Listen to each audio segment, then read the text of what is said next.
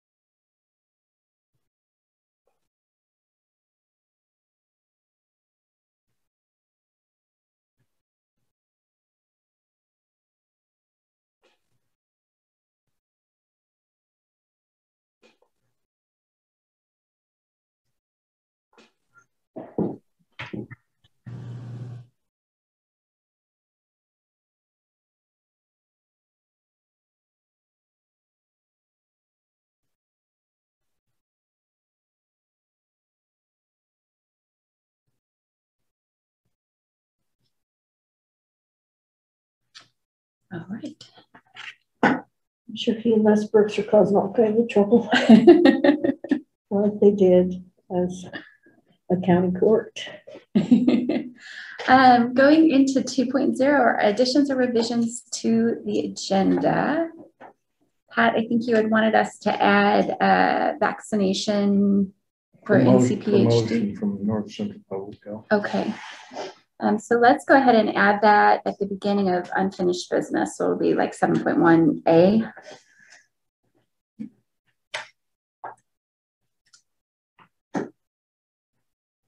And then under 7.5, um, I'll go ahead and give a Frontier Telenet update as well. That was gonna be what? A Frontier Telenet update. I've forgotten that we were going to meet yesterday and, or we did meet yesterday and I've made a commitment to keeping everybody updated about those meetings. So any other additions or revisions? I don't have any, Okay. like you guys. Um, then let's go into correspondence and public comment. Um, just for those who are here for the public hearings, we'll get, if you're here to comment on those, we'll get into those here in a minute. This is just a general public comment um, period. So individuals wishing to address the county court may do so at this time and at other times throughout the meeting. Speakers are asked to raise your hand to be recognized by the chair, give your name and address, and limit comments to three minutes. And then I also just like to remind folks that um, we are very informal here. So as we move through the agenda, if there's something that you want to interject, ask questions, provide comments as we move through the meeting, uh, we would welcome that. Um, for those who are dialing in or signing in via Zoom and you're, if you called in, it's star six to unmute yourself or um, the lower left-hand corner of the, the Zoom can also unmute yourself. So I would ask if there's any public comment at this point.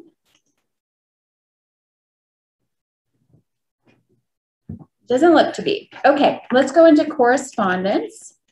We've got a couple of items in here. So um, the first one, and Joanna is actually on the line as well from Metro. Um, we received an email from the solid waste uh, authorization coordinator at Metro. And um, basically, um, Chem Waste has requested authorization to accept non-hazardous industrial waste and non-hazardous special waste um, that has been generated in the metro region. And so Metro is considering that application at the moment and wanted to know if we had any concerns that we wanted to raise. So I said I would raise it here. And did I capture that, Joanna? Yes, essentially, you know, Chem Waste has applied to become a designated facility of uh, Metro solid waste system. And what that means is that, um, so Metro regulates all of the waste that is generated within the Metro region. So if it re- leaves the region, it has to leave either under a non-system license, which is issued to the to the transporter of that waste, or it needs to go to a facility that's designated by Metro. So this um, Chem Waste has applied to become a designated facility, um, which is a, an agreement that if, if Metro Council approves their application, um, Metro would enter into an agreement with Chem Waste. And the point that I really want to you know make clear is that that doesn't guarantee any tonnage, doesn't guarantee that any waste flows to that facility. It just says for the materials that are um, in that designated facility, that uh, Chem Waste would be authorized to receive that material. So I'm happy to answer any additional questions. Um, and just one other point is that we have a designated facility agreement with Columbia Ridge Landfill. It's a similar arrangement. It just says that um, you know waste from the metro region can go to that facility, and that in exchange, you know they have to um, report fees and tax report to us the tons that come from the metro region. They have to pay fees and taxes um, on that material, um, and then they're required to operate, you know, uh, within the bounds of any federal, state, or local permits or requirements you know, that are on the facility. Any concerns? I don't have any Pat has a questions. conflict, I but. have a conflict, obvious conflict, it's on the Zoom. There she is. I, I don't have any questions for Metro, but I probably will have a conversation with Leah just to understand what, what the thinking is. But Okay. And this is Leanne. I'm on today just in case you guys had any questions or any concerns. Um, this is just really preparation for the Portland Harbor waste for upcoming emerging contaminants, having that higher level of environmental protection to dispose of these waste streams. And if you guys have any questions or concerns, give me a call. Let me know. Okay. yeah, that kind of answers my question. So, yeah, thank Yeah. you. Joanna, I don't think I have any concerns and it doesn't sound like Commissioner Wilkins does either. So Excellent. Thank you so much. I appreciate your time. thank you. Okay, and also under correspondence, we received our quarterly um, update on our veteran services um, uh, officer and all the great work that he is doing. And so I, every time when he submits this, I am astounded at what he gets because I am reminded that this is only one county of the three that he serves. And it's incredible. So if you are a veteran or know of a veteran who could use his services, um, please reach out to him. He's here in the courthouse one day a week, but um, accessible via phone and um, can help connect you with services and other things that you need.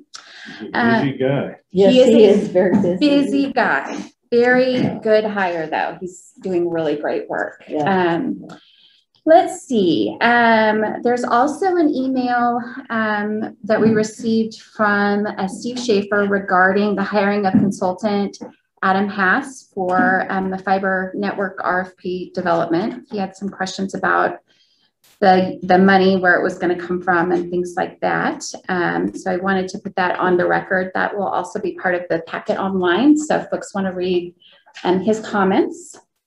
And then later in the meeting, we will also be taking up appointments to the compensation board and Les Ruark submitted two emails, um, one with some suggested names of the folks who have put in um, a letter of interest, um, sort of his favorites, I guess, among the group.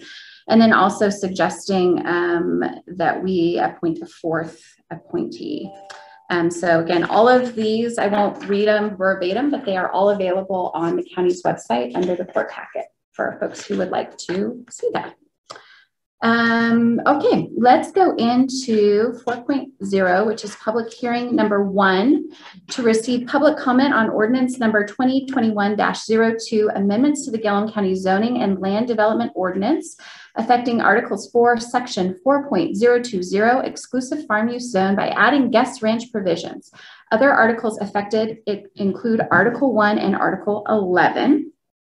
And I have a nice little script that Michelle has prepared for me. So Um, this is the time duly set and advertised for the public hearing to receive public comment on ordinance number 2021-02 text amendments to the Gilliam County Zoning and Land Development Ordinance, Article 4, Section 4.020, uh, exclusive farm use to add guest ranch provisions and related text amendments to Articles 1 and 11. The hearing is now open. The public hearing will be conducted as follows. The staff will give their report and answer any questions from members of the county court. Following the staff report, I will then open the hearing for public testimony, proponent, neutral, and opponent. For the opportunity, eh, after the opportunity for public testimony, the county court may have additional questions for staff. The county court will then decide whether to close the hearing and deliberate the matter. I will now ask the commissioners to disclose any conflicts of interest or, or other matters that may preclude your participation in the proceedings. Please indicate the nature of the conflict and state whether you intend to participate in these proceedings. Does anybody have any conflicts of interest? I don't interest? believe I do. I have no conflicts. Okay, uh, neither do I. Does anybody wish to challenge the ability of any member of the county court to participate in these proceedings? And again, if you're coming in via Zoom, it's star six to unmute yourself and or in the bottom uh, left-hand corner. Anybody want to challenge any of the court members? It's not look so. Okay, we'll move on to rules. When you testify, please state your name and address for the record. Um, there's a sign-in sheet at the back of the room. Please keep your testimony concise and relevant to the issues before us this morning. All testimony shall be directed towards the county court and not to other members of the audience.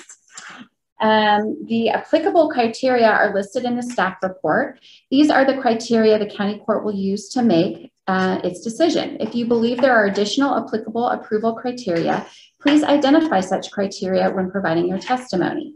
Fail to failure to raise an issue with sufficient specificity to afford the county court and all parties an opportunity to respond to an issue may preclude an appeal to the Land Use Board of Appeals based on that issue and may preclude the ability to pursue an action for damages in circuit court. Additional rules and procedures for this hearing are as follows. The hearing is being recorded. Please be courteous and avoid repetitive or redundant testimony. The testimony should address the applicable approval criteria listed in the staff report. And to expedite the hearing, the members of the court may ask questions of persons as they testify. Staff will now present the staff report and any correspondence on this matter other than those items already included in the record. Michelle. Now I'm going to get a drink of water. That's quite a mouthful. Yes, this is where I sit. Yes. Yes, please. Okay.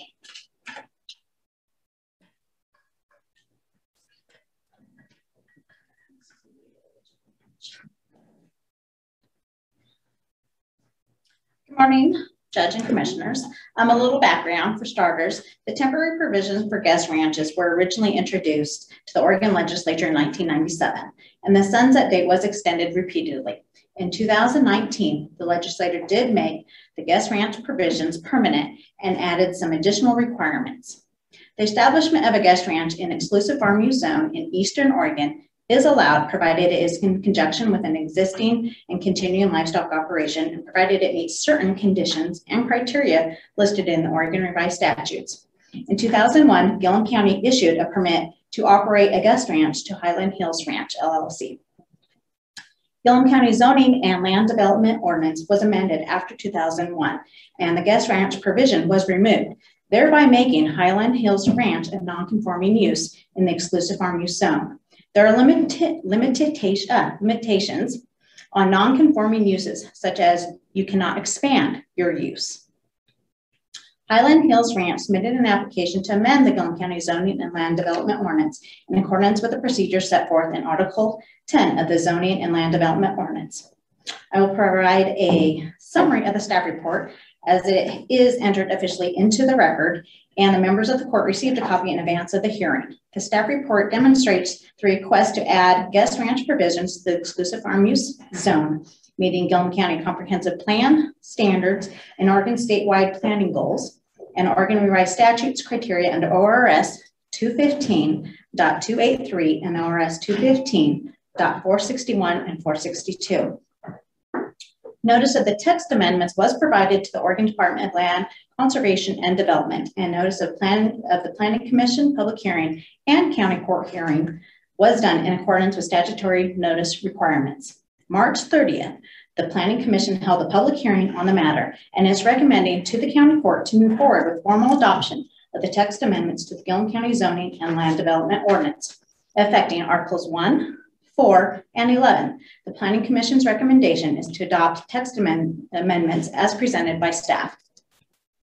The proposed text amendments to Article 1 and 11 were a matter of correcting or clarifying language that came about after looking at the additions to Article 4. The text amendments to Article 4, specific to exclusive farm use zone land 4.020, is introducing new language to allow as a conditional use guest ranches. The text language came straight from ORS. It is verbatim. I'm going to just hit a few points.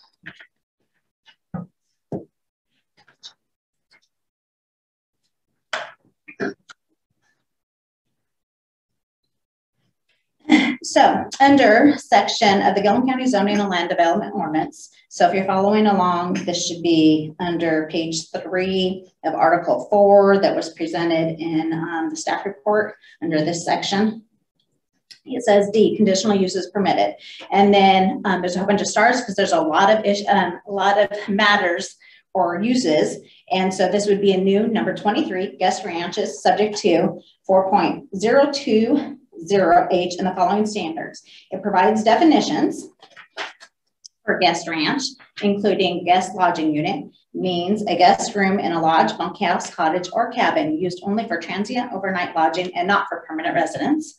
Another definition, guest ranch, means a facility for guest lodging units, passive recreational activities described in subsection F, and food services described in subsection G that are incidental and accessory to an existing continuing livestock oper operation. And then it defines what livestock is under this. And livestock means cattle, sheep, horse, and bison. and then there's, um, according to ORS, which we inserted directly verbatim into the code, there's um, certain limitations on where guest ranch can be. And so that goes into subsection B and C. And there's limitations on how much land you have to have. You have to have a minimum of at least 160 acres. And then it also includes specifics on square footage and occupants. So beyond the first 160, 160 acres, there are certain requirements of square footage and how many occupants you can you can have based on additional um, acreage. So that takes us clear down to H um, of this section. And H says that you can't have a guest ranch in conjunction with a campground or a golf course. So there are limitations in addition to just the sizing of the acreage. And then um, the governing body of the county or its designee may approve, may not approve a proposed division of land for guest ranch or guest ranch dwelling of an individual.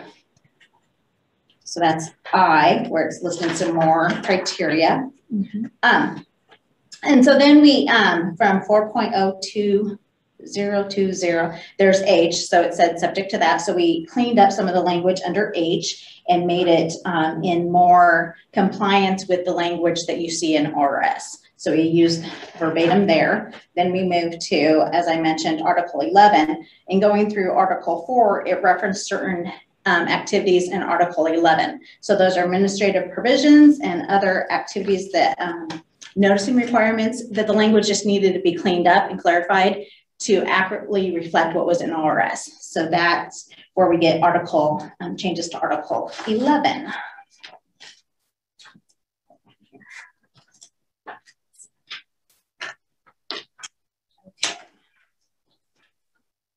And then I would just like to mention um, this, for anyone that can, qual anyone in the exclusive farm use zone that meets the specific standards that we've outlined according to RS that we've inserted into the code can make an application and can apply, provided they make all those standards and can meet everything. Um, so this is blanket across the exclusive farm use land in Gilliam County. Um, staff concurs with the Planning Commission recommendation that the recommendation of the county court consider adoption of the county ordinance number two 2021-02, adopting land use file number L 2021-02, text amendments to the Gilliam County zoning and land development ordinance affecting Articles 1, 4, and 11 to add guest rounds provisions and related text amendments to the Gilliam County zoning and land development ordinance based on findings of facts and conclusions of law contained in the staff report as presented. There was no um, adverse testimony or comments received at the planning commission. So the planning commission is, the staff report was just amended slightly for some um, public noticing to the county court. So it's pretty much as what was presented to the planning commission. We didn't make any alterations. Um, so it's based on everything that was presented to the planning commission, no amendments. We're coming to the county court, um, proposing that the county court adopt this via ordinance.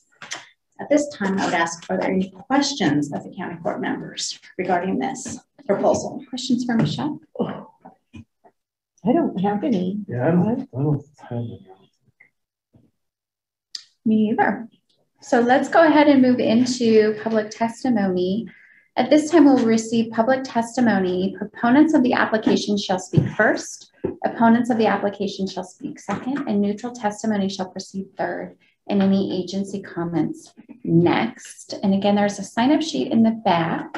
For folks who are dialing in, um, it's star six to unmute yourself. So I'll go through each of those um, groups to give people plenty of time to unmute. Um, and so we'll start with uh, the proponents. Is there anyone who wishes to speak in favor of the application? Come on up. Really? Yeah, I don't know why. I can't figure it out. if you could just, for your, the record, state your name and um, address, that would be Uh, great. Dennis McNabb, uh, address, my permanent address, thirteen twenty-one East Eighteenth, the Dalles, Oregon. Uh, all we want to do is add four cabins to go to single, more single occupancy. When we built, it was double occupancy, was kind of the standard in the industry. Now it's shifted to single occupancy. So basically four cabins with a bed, two bedrooms in each cabin. So eight more bedrooms to, you know, have people have single occupancy. So that's my pitch. Questions? I don't have any questions. No. Any other uh, folks who want to speak in um, in favor of the application?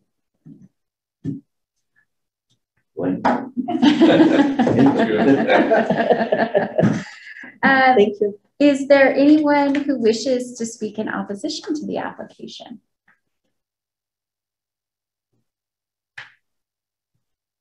I do not see anybody. We'll give folks just a second, but it looks like it's all Gilliam County people who are on, Gilliam County staff, aside from Catherine Kelly. and, and Kelly. Um, anybody who wishes to provide neutral testimony?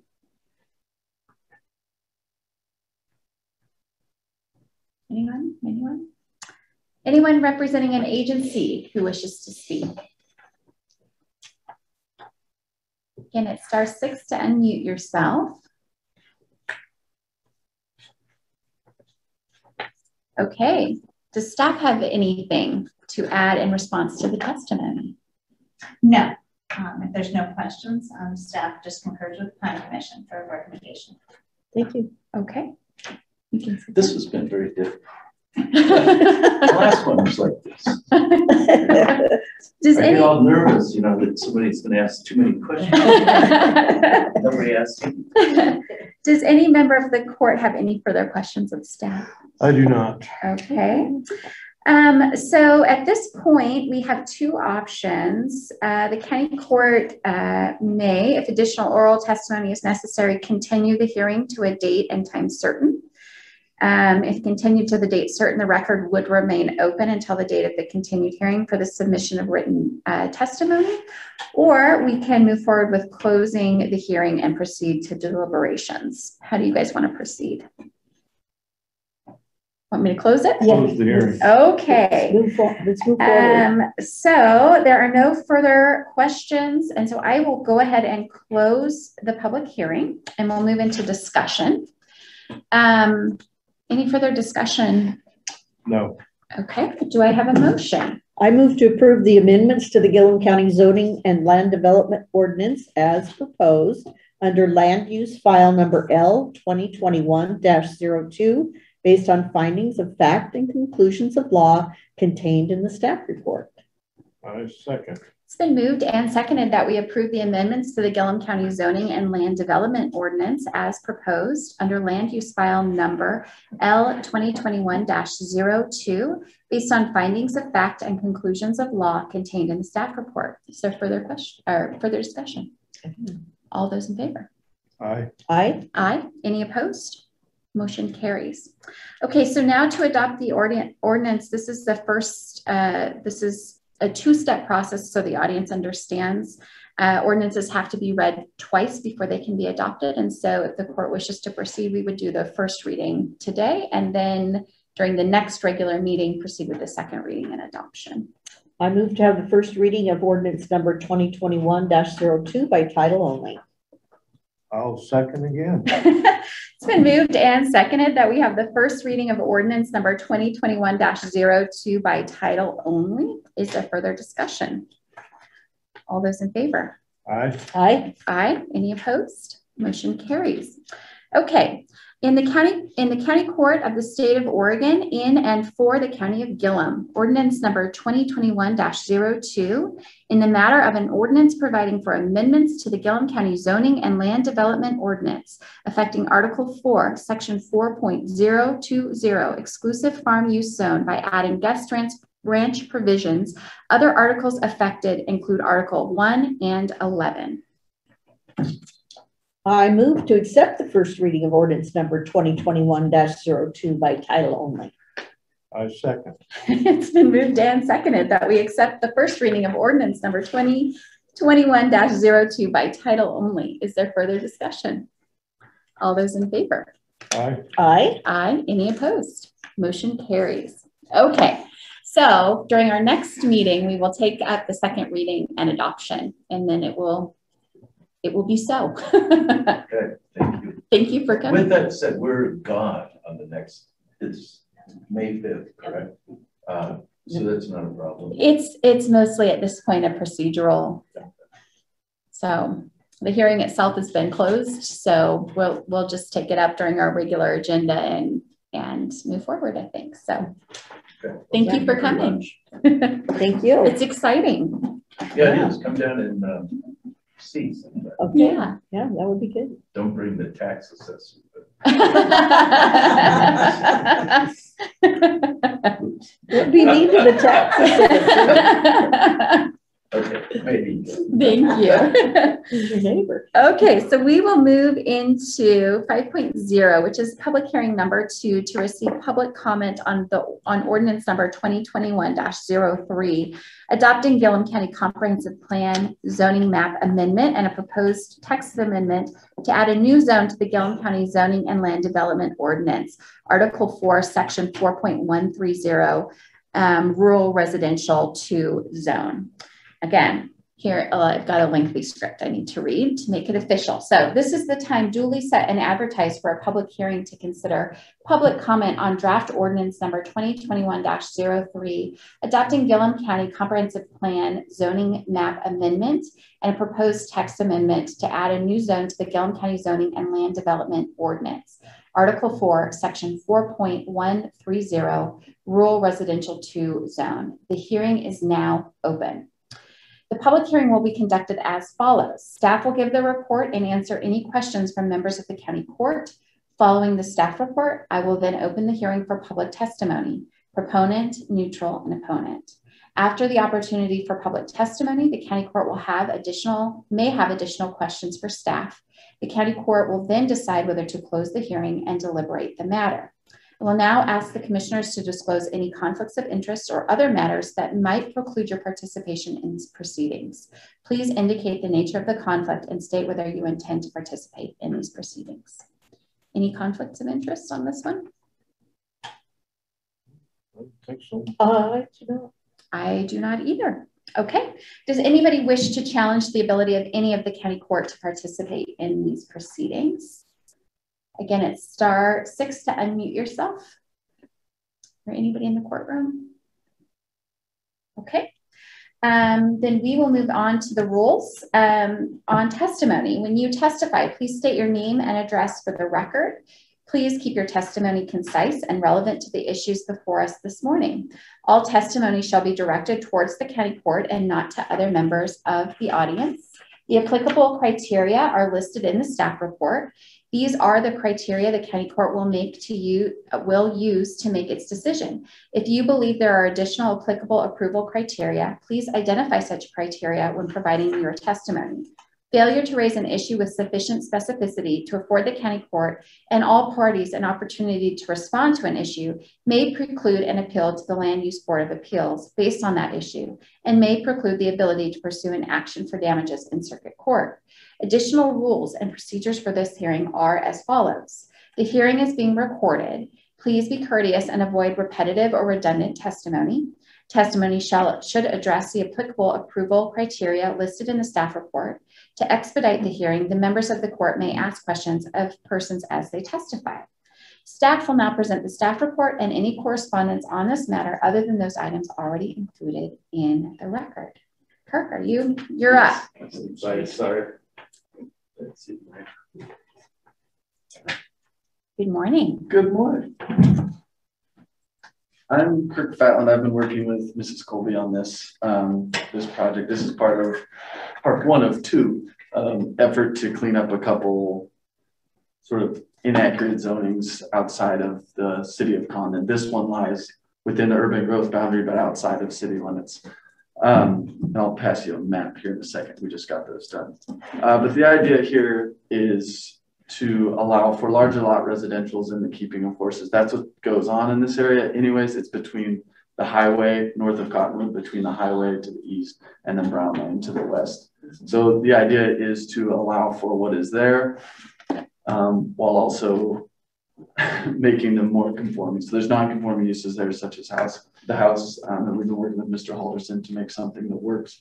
So tonight we'll be, or I guess this morning, we'll be looking at um, a map amendment to the comprehensive plan to designate the area it is currently industrial, to designate it residential, rural residential, and then we've also prepared a draft ordinance, um, a rural residential two zone that would apply to it. So since this is within the urban growth boundary, um, it's been brought before the city planning commission, the city council, and the county planning commission. Um, at the County Planning Commission, there were some amendments to the, we went through the rural residential zone and looked at what some options would be to, uh, to tighten that up and allow for uh, what is already there and plan for the future. So it's kind of a, this is a complex area with multiple things going on. As you know, there are some industrial type uses um, with Mr. Alderson's warehouse there. And then there is also homes and agriculture uses. So trying to find something that works for everyone uh, and makes sense for, for future growth has kind of been a balancing act. I feel like we've, we've gotten to a good place on it and the planning commission did as well. So it was recommended for approval by the city and then also the planning commission with those amendments. I will pass these out to you if that works for you folks. Mm -hmm. um, so the first one here, I'll pass you, they're essentially the same maps. The first one shows the comprehensive plan amendment so this is saying, okay, if you're designating it rural residential. And then the next one shows that it will be rural residential too. And if that doesn't make sense, definitely ask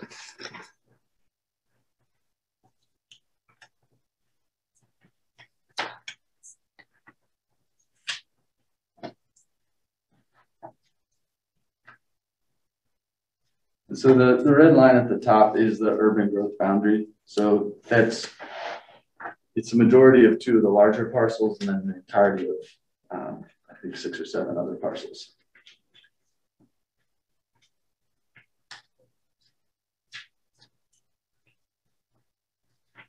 Questions for Kirk so far?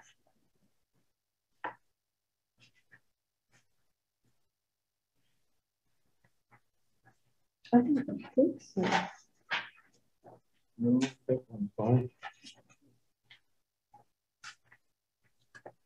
And, yeah, and again, the, main purpose is to allow for, for what is there. Um, if you folks have the, actual zone in front of you, um, we can also look at that, but I think the planning commission did a really good job of working through that point by point. Um, trying to ensure that this will, this will allow for what, what people would actually want to use that land for. Mm-hmm. Um, And it's being used. what, and specifically what it's being used for, exactly. And for the record, so folks know that the Kirk staff report is part of the record for this. So, Right. and the commissioners received it um, last week, so Right. they've had time to to read through it, which is why we're not going point by point through Exactly. all of Yeah. the findings. Yeah. We've we've been given lots of information. Um, okay, so any additional questions for Kirk? If not, I think we can move into public testimony.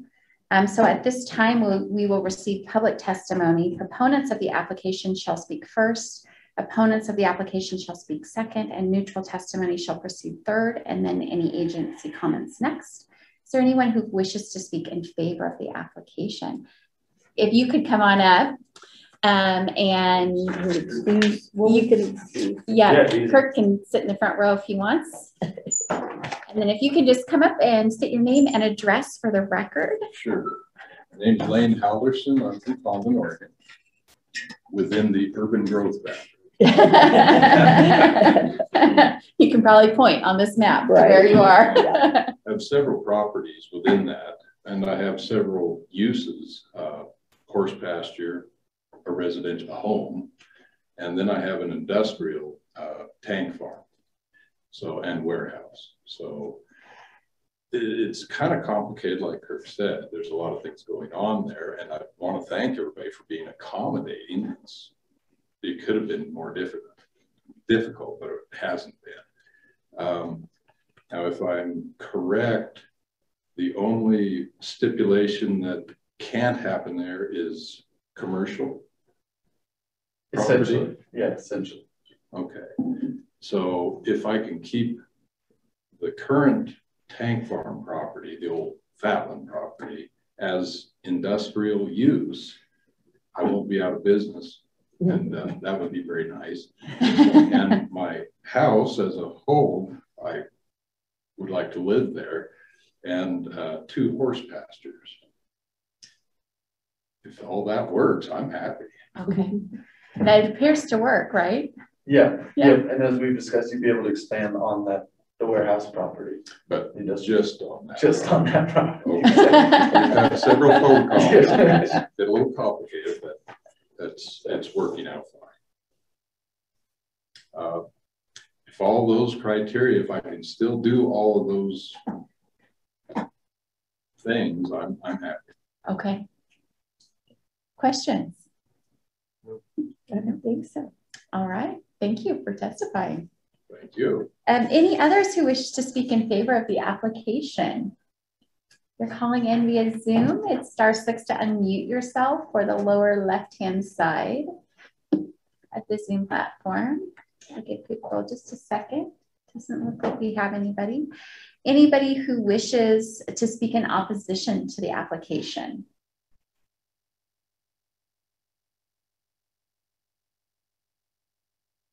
Okay, anybody who wishes to provide neutral testimony?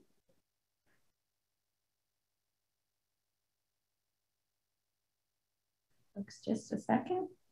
Do not see anybody. Anybody representing an agency who wishes to speak?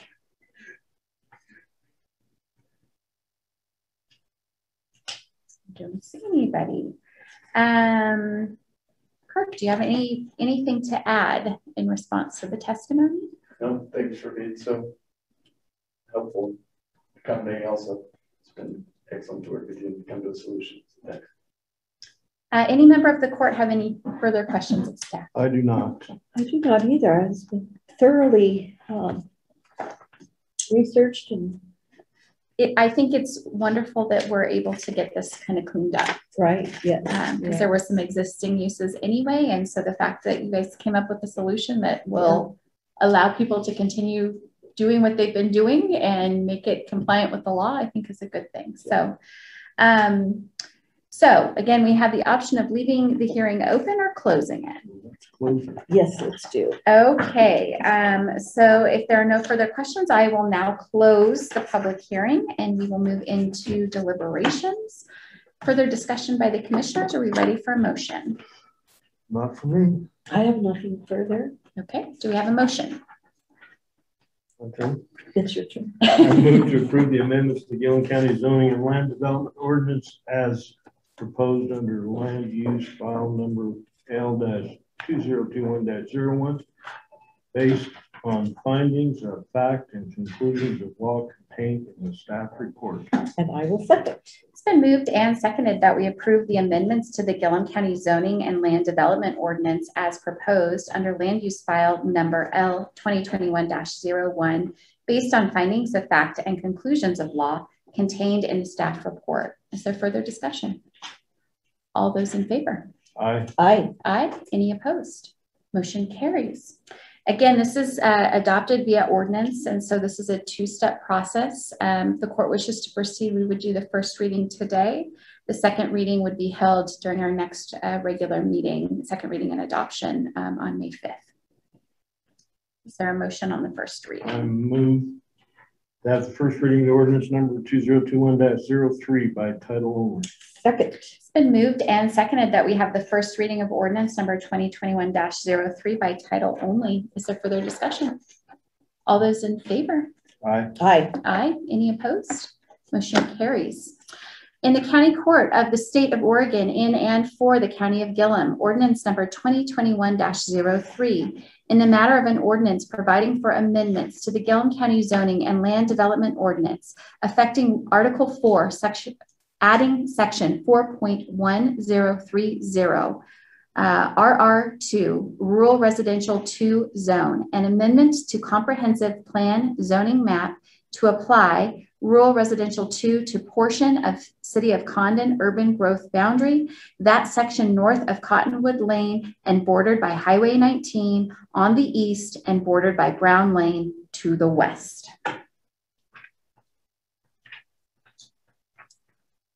I move to accept the first reading of ordinance number two zero two one 3 by title only. Second. It's been moved and seconded that we accept the first reading of ordinance number 2021-03 by title only. Is there further discussion? No. No, ma'am. All those in favor? Aye. Aye. Aye. Any opposed? Motion carries. Okay, we will do the second reading and adoption during the May 5th um, meeting. Thanks for being here. Thank you, everyone. Thank you. Thank you. Good work, staff. Thank you. These are heavy lifts, I know. Mm. And Good good, work. Lots of time and energy involved. good yeah. staff report. So this, if I remember right, there's a second portion of that and that's still working its way through planning? Yes, Okay. so the Dunn's addition, which is on the, the west side of, of Brown Lane, exactly that old subdivision. Um, Is- so a is- very similar looking ordinance. Got it. Um, But yeah, the planning commission had additional questions, so we're answering those next week. And yeah, should be two folks after that, hopefully. Wonderful. I think we're on the right track, it just, there's more options to consider, so we're doing that. yeah. Okay, got it. Thank you. All right. Great, thank you. thanks, Kirk. Thank you, Mike.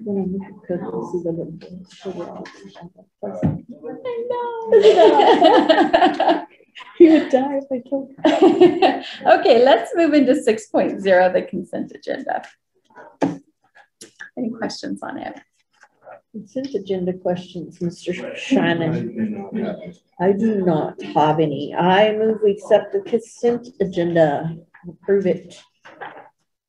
I second. It's been moved and seconded that we approve the consent agenda, which consists of consider approval of April 7th, 2021 regular meeting minutes, consider approval of April 7th, 2021 executive session minutes, consider approval of April bills pending review, consider approval of revised intergovernmental agreement number 90G000360 with the city of Boardman and state of Oregon for building code services, and consider appointment of Lori Anderson to the North Central Public Health District Budget Committee effective April 21st, 2021 through December 31st, 2021.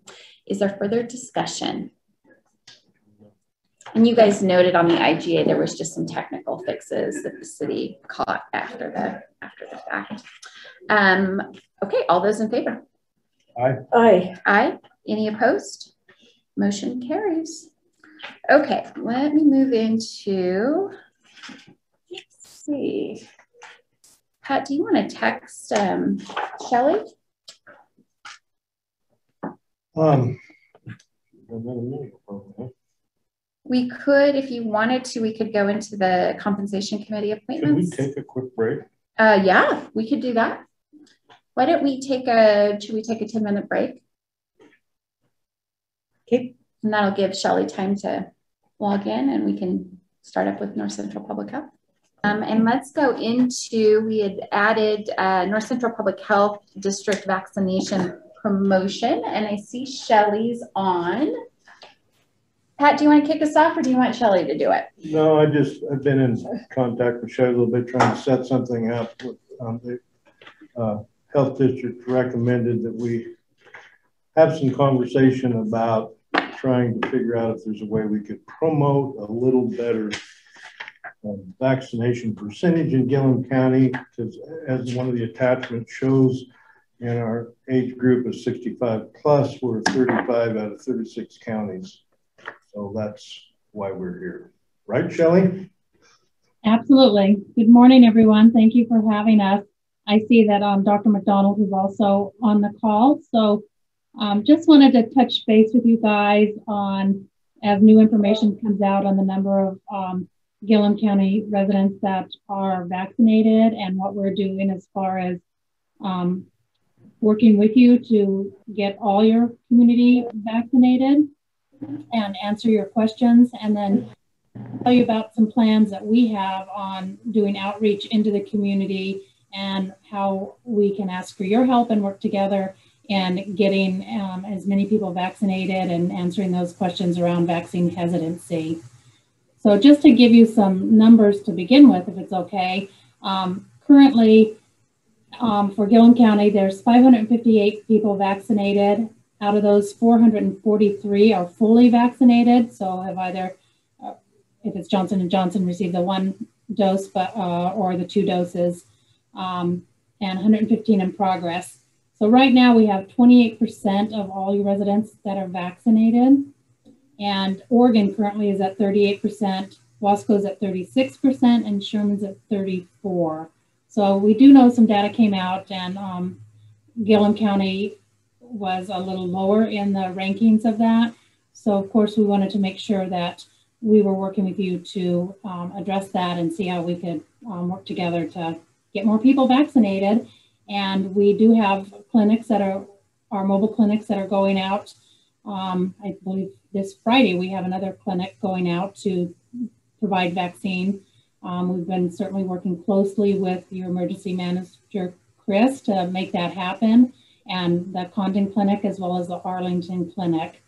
I think now one of the questions um, I'd like to pose to you guys is what else do you feel you need, or how can we work together to get more information out there and address some of the concerns? We are we have been and are putting information in the water bills, electric bills, um, PSAs.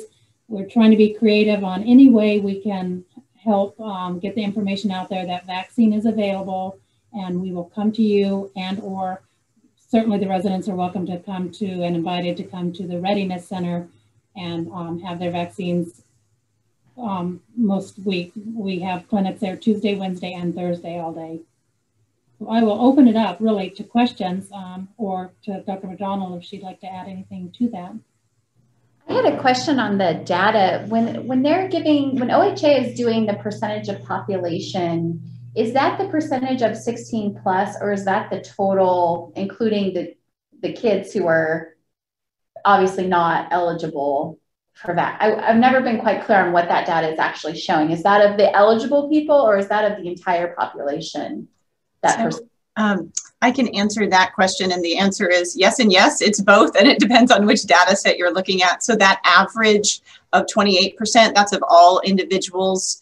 And then the other data points that had to do with the um, kind of specific, pardon me, specific age groups. So if it's 65 and up, that percentage of those who've been vaccinated is just the 65 and uppers. And of the 16 and up, it's, you know, percentage of 16 and uppers. So two different data sets, a little confusing, but that's the way that those ones are. The ones that are broken down by age um, are a little more specific. Chris, did you Yeah. have something? Yeah, that, I'm, I'm sure this is correct, but even if they went to Wheeler County and got vaccinated or went to Wasco County, that still is all tracked in the system, right? That is correct. They, the state, I will say, did have a little bit of, um, for about a week and a half, they weren't posting county rates because of some of it was had to do with how they were doing it by zip codes, but then people in the same zip code lived in different counties, but they got that sorted. So it's um, tracked not by where you got it, but by where you reside. And then, um, I guess Chris, it's do you wanna just, we've, we've got a lot of resistance in Gilliam County to get the vaccine. And I don't know if that's happening in Washington or Sherman or not, but, uh, and the, and the Pfizer hiccup didn't help. I mean, the J and J hiccup didn't help. Yeah, we are seeing our numbers um, of everyone in our clinics go down a little bit. Um, and we think part of that um, is one, that there is some vaccine hesitancy, certainly around the J and J, where we were concerned with that. We're um, looking forward to that being resolved and the J and J being available again. Some people just wanted the J and J because it was one one um, vaccine. So as that unfolds and we get more information around that, we'll be providing that as well when we get it. We do have some um, Pfizer vaccine that is focused for um, 16 and 17 year olds and their family. We are having a clinic this Friday night here called Friday Night Lights um, on the football field. Um, we're gonna have pizza and some prizes, and it's really focused to get our youth signed up, the 16 and 17 year olds, and that certainly is open to um, 16 and 17 year olds in Gilliam and Sherman County. We will have, and we do have um, some put aside to be working to come out there and provide that to your 16 and 17 year olds as well. Is that a sign up or show up? I suppose you sign up, huh? It's both, really. Um, we encourage people to sign up on our website for that, but we do have some doses set aside, um, and specifically for Friday night for walk-ins.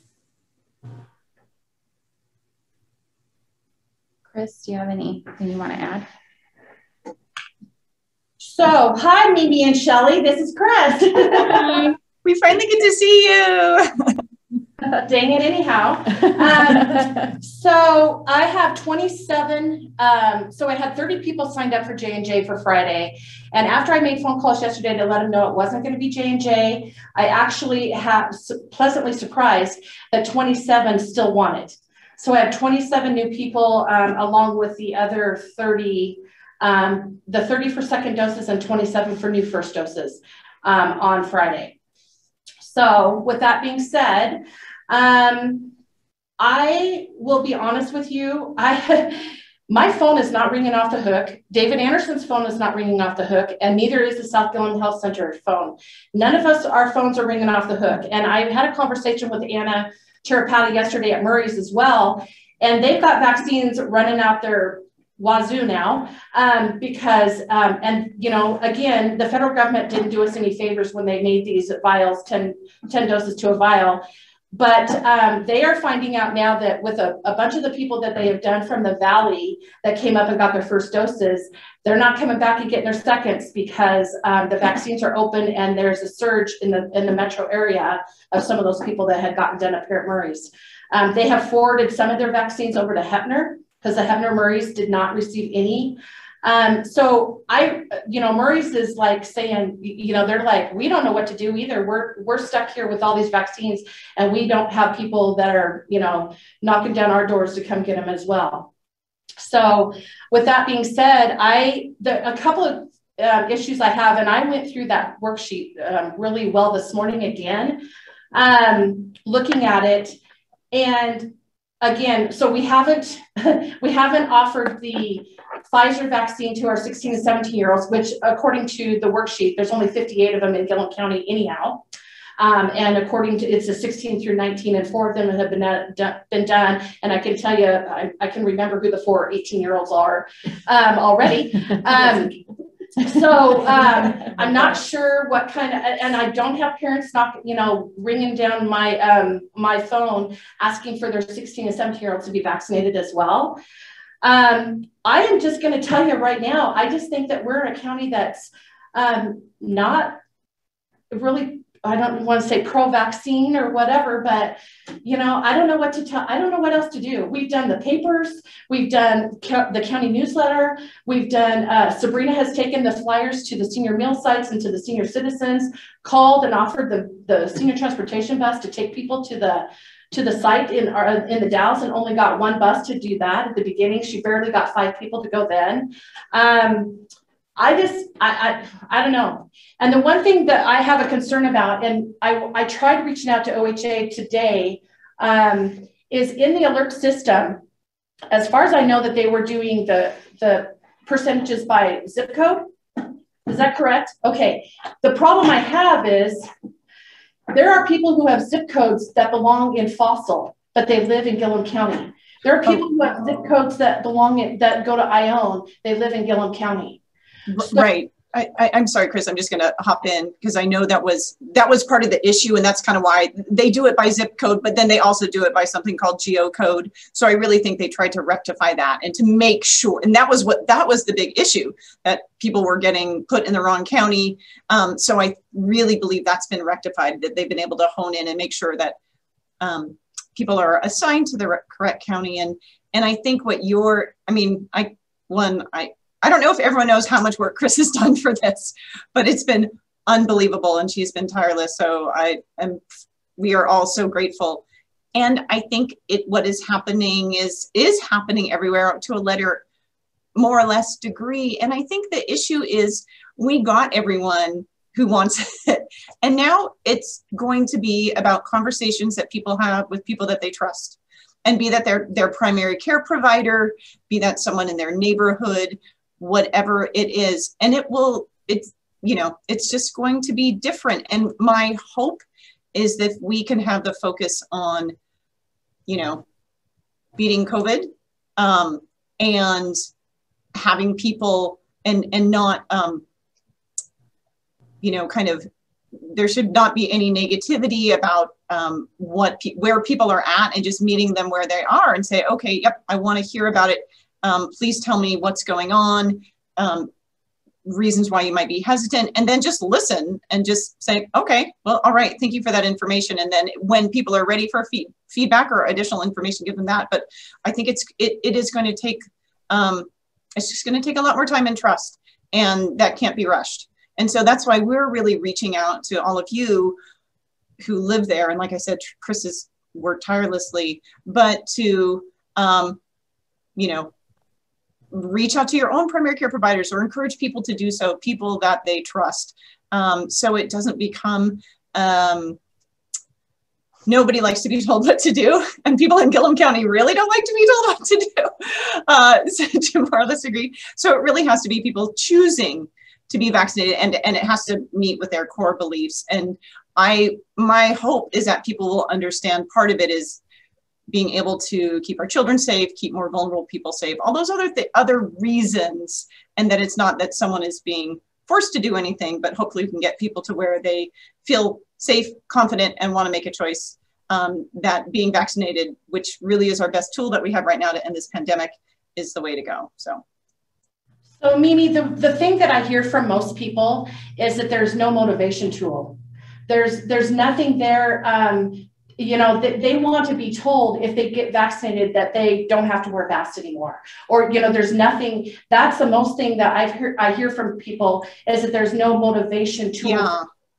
you know because they're hearing everything from the government from the governor or whatever stating and or osha who's pushing that we potentially were going to have a mask mandate forever, you know, type of thing. And so there, these people, uh, I mean, because I talk to people all the time at lunch, especially downtown, and um, they have come to me forever with people, you know, wanting to know when it was coming and stuff like that at the beginning. But now I have the people saying, well, why should I get it? There's there's no motivation that, you know, it's just going to be, you know, whatever. There's nothing, nothing's going to change. Yeah. And so I, I definitely hear that. And it is super frustrating and sometimes it takes it has to be a little bit of a thought beyond that next step is that yes, when we have a sufficient number of people who have either been vaccinated or, have natural immunity, we do get to stop wearing masks. There is an end, but unless we all work together, it's not going to get there. It's just kind of one of those things where people have to,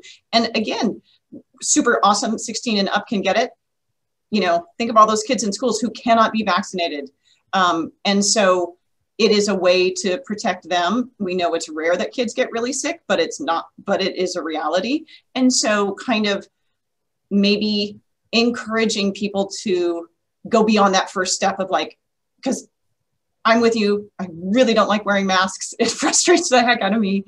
And to know that it will end, um, it's not quite as um, easy or as simple as you get a vaccine. I mean, certainly there are some situations where you no longer have to wear masks, which is awesome, um, but it's still going to take more time. But unless everyone does it, it will take even longer. So to me, it's a little bit of a, a challenging thought process. Like, if, well, I'm not going to do it because it won't change anything. And the fact is, it actually will change things. It just takes, it's a little bit longer than immediate. So kind of that longer term help and, and thinking of helping more the community as a whole, then I know people are really uh, used to, you know, thinking of individual, and we really, really need to think of our communities. Yeah, it's kind of hard. I know that one of the things you hear from people that have gotten the vaccine that still have to wear a mask say, we're being punished to keep those that won't get a vaccine vaccinated. You know, it's, it, yeah. we have to wear a mask because they don't get a vaccination.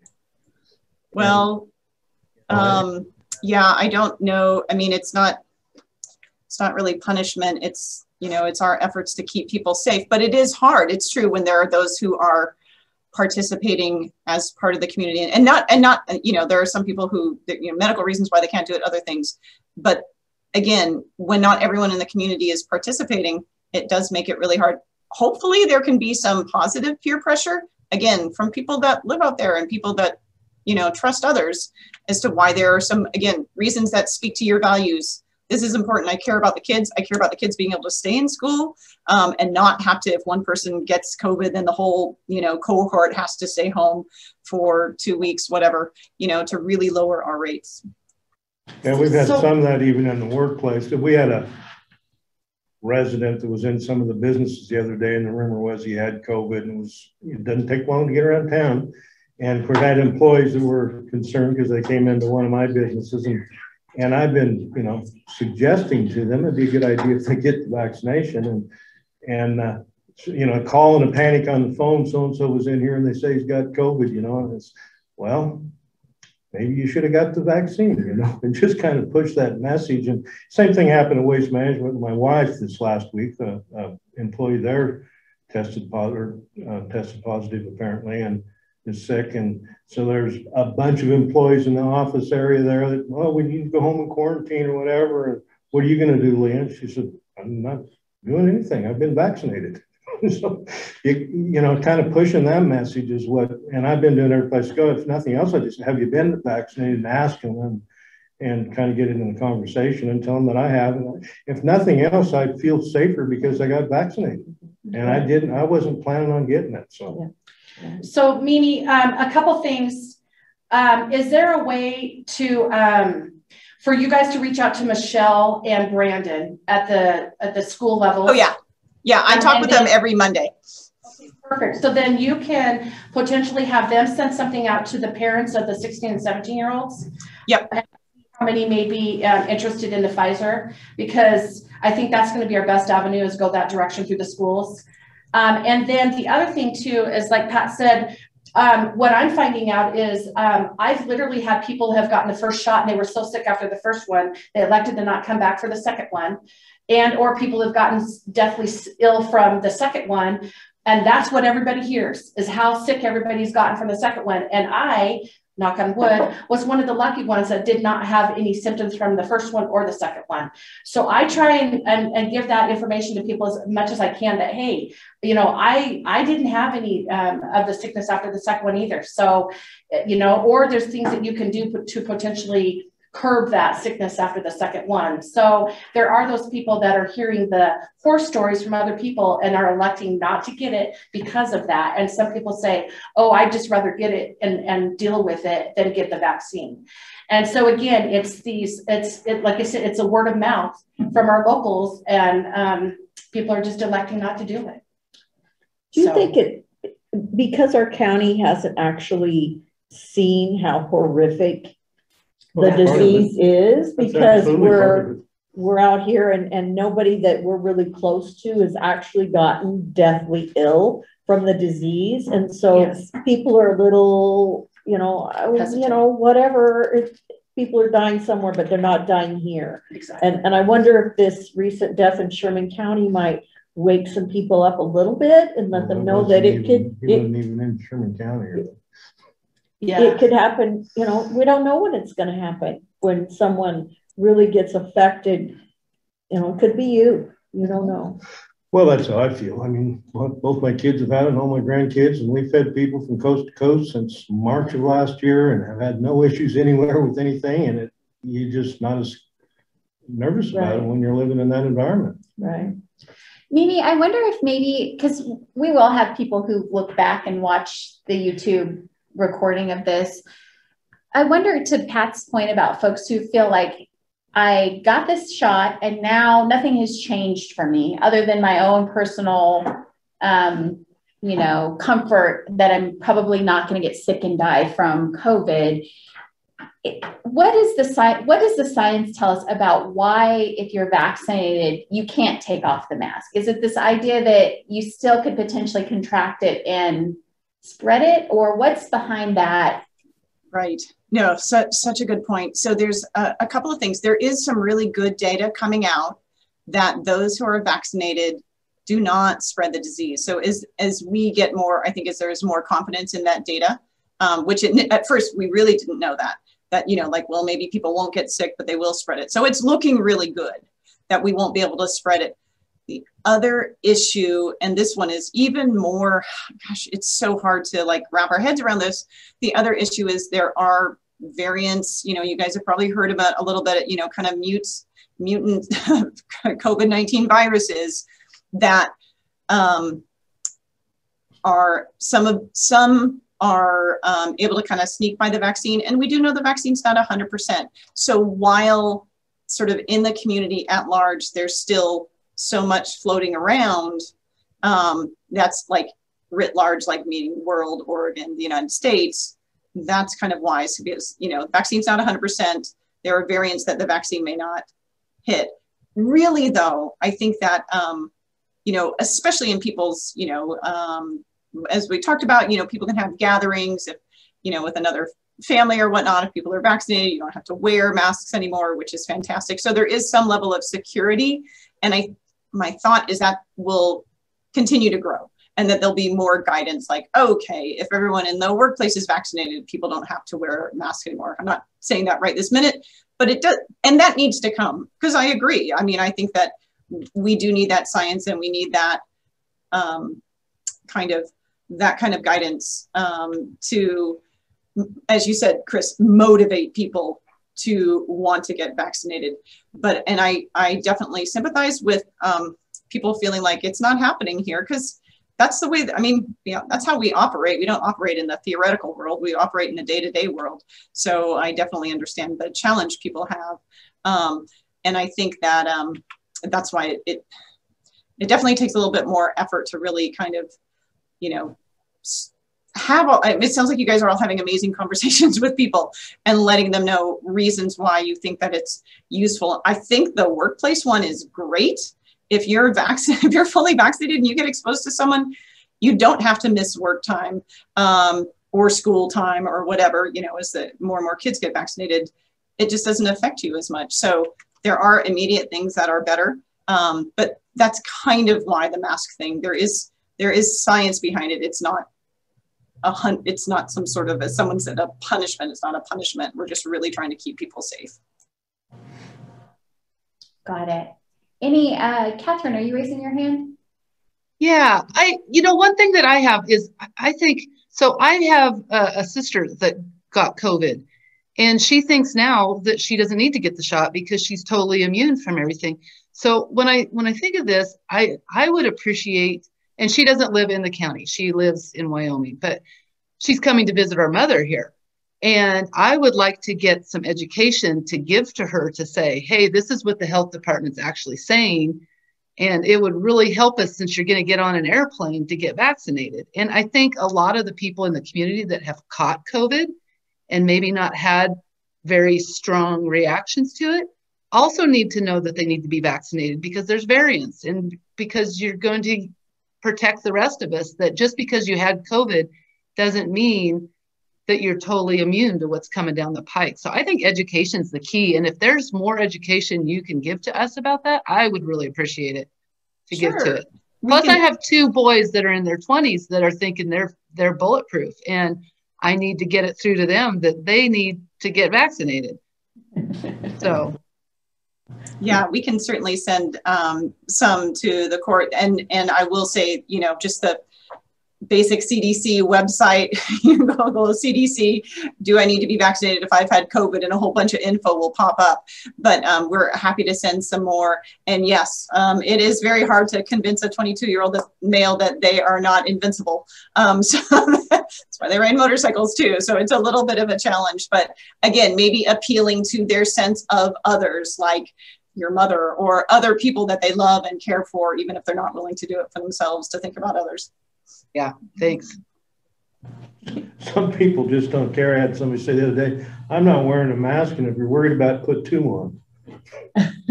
one for you and one for me. I'm not wearing it. Oh, really? Anything else that we want to add to this? I think the call out for people, the public who is watching this is is please, if you have been vaccinated and you have somebody in your family who is resisting it, maybe talk to them about your experience and why it's important for the whole community to reach that sort of herd immunity that we keep talking about so we can get back to normal. Um, I don't know what to say to them. I, I, have said it. I don't know to tell you. I don't I'm know where they're coming the from. Conversation with almost everybody I run into. Pat's going to single-handedly get those grades up. Yay! Good luck. Thank you guys for joining us today. Well, thank, thank you. you. And please let us know however we can help. Um, you can even just have people call us directly um, if they're hesitant and need questions answered. We're, we're more than happy to, to have that message. Sounds good. Thank, Thank you. you. See someone Thanks so much. on Friday. Take care. Okay. Get your shot, folks. Um, consider appointments to Gilliam County Compensation Committee. Um, so to recap, uh, the statute states um, that the County Compensation Committee, which for the record, for those who are not familiar with what the Compensation Committee does, um, the statute basically sets out that uh, each county has a compensation committee consisting of three to five members who are knowledgeable in personnel and compensation management. And those individuals then are tasked, tasked with making a recommendation to this court regarding elected officials' compensation. It is only for elected officials' compensation, not for um, other employees in the county. So I just wanted to put that on the record because that sometimes trips people up. Um, currently, we have two members, um, Eric Harrison out of Lone Rock and Nicole Schott of Mayville slash Condon. Um, we advertised the remaining committee vacancies in um, earlier this month and received six uh, letters of interest. So three from Condon, um, Sue Greer, Steve Schaefer, and Carrie Wade, and then three from Arlington, uh, Denny Newell, Benjamin Tucker, and Ashley Weatherall. And the recommendation, given that we've got six and we can appoint up to three more, um, is that we look at appointing three.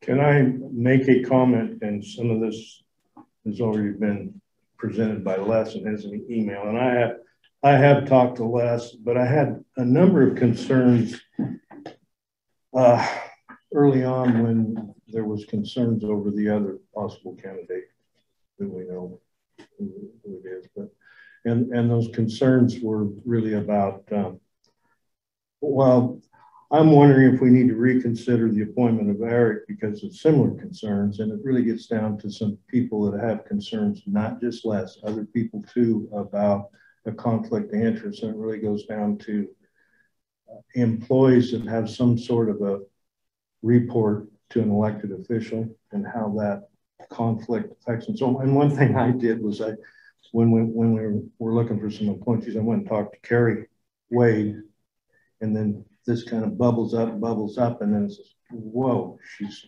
my Yes.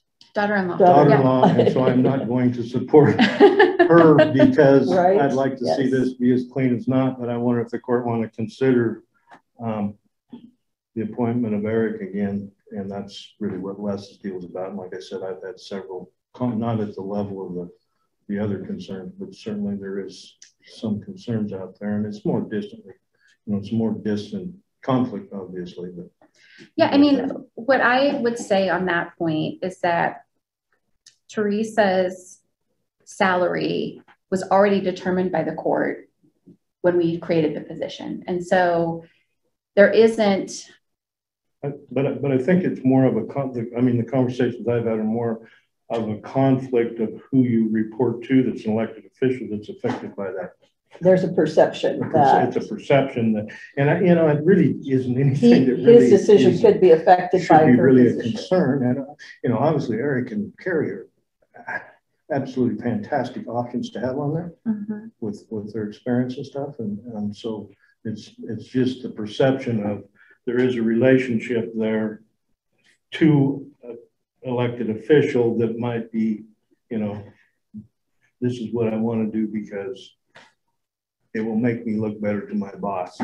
I mean, I understand the perception, but I think it's, I think it's misguided. I think, I, I think if we started saying that anybody who has a connection to a Gilliam County employee cannot serve, We we wouldn't have never, anybody. I mean, I, I'm related, I mean, you guys know this too, you're in the same boat. I'm related to half of the county and I married into the other half. Oh, yeah. So, um, Yeah. I, you know, I think we're, we would be setting ourselves up for this idea that then, you know, like I could make the argument, Nicole Schatz on here, and the school district is frequently in front of us asking for money. So does that influence that? I mean, Well, just about everybody, Ashley Yeah. Weatherall, right, Yeah. works for waste Waste management. We, uh, you know, we affect her potential employment here. Um, you Yeah. could, you could literally go down with oh, Well, every single person and find a conflict. I Yeah. get it, I just think that because, you know, there has been some conversation to bring it to the court. I appreciate Yeah, that. yeah. I, I just think, And I understand their perception, but again, you know, we're a small county. We, we're gonna, I, it's gonna happen. It's gonna happen a lot and we have to, I we have to consider what's the closest that is really, like Carrie is, that's a little too close. Yeah, so I get that Well- too. And I appreciate, her She kids spend a lot be. of time in my house. yes, they Yeah. do. Uh, and she would be fantastic, to yeah. be clear. I mean, she's Yeah. a thoughtful person, but. If you resign, we could have Carrie. No luck at this time, Sherry. Just kidding, just kidding, just kidding. Um, of the group, I will say, I, because I read Les's email and I actually thought that the three that he put forward, I really thought he made a strong case for them. Yeah, I totally agreed with that as well. I probably thought those were different- I probably have Sue- a different three, but that happens a lot. Sue, Sue Greer, Denny Newell, and Ashley Weatherall, which to me took a good section of different people in different areas and different backgrounds and um, I, I would all be a, an asset to Eric and Nicole and make, I a, just- make a really good group. I just, when I, when I went through this and I studied this really hard, trying to figure out, and, and I, you know, I've talked to several of these too, but, um, and I served on the compensation board years ago because I was asked to, because I was employed at Waste Management, and I reached out to Ashley. And I, so I think she would be good. And I- And I also think Steve would be good on there because he's got com, he's got all complete understanding of elected officials and their compensation. And I, and, and uh, I don't know Denny, but everything I hear, and he's very qualified. And, uh, and I really think he should be considered. And then, um, I think Ben Tucker would be fine too, because he's been in a management position since he moved to Oregon at two different trucking companies and or transportation situations, transportation manager for a large company right now, has been for some time. So there's some experience out there with wages and employees that, that I thought would be good options. Yeah, they're all good I options. don't really know, and you know, I don't know that, I'm not saying anything wrong with Sue. I, I, I eliminated Carrie because of why I eliminated her on my pick. And then, um, I don't know what Sue's background is since she's been, she's been a good friend and I know her. But I don't know what the background is there. The other, I knew their background and what they did.